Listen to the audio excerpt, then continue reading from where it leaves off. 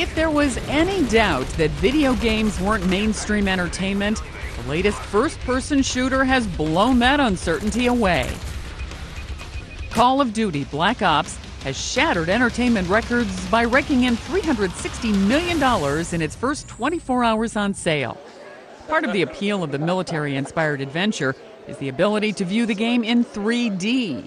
Everything that goes on visually inside of Call of Duty, um, you know, is held to the highest standard. We, the production values that, that, that go on there, the investment in that, and what it, and what 3D has done when we when we implemented it is it just to, to, it's an enhancement to it. You know, you really get to appreciate all that in a completely different way.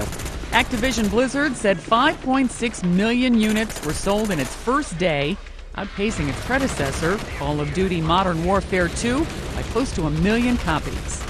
Because of the pricing, $60 for a single copy, games have an easier time setting records than, say, movies or music, because fewer people need to buy them in order to bring in big bucks.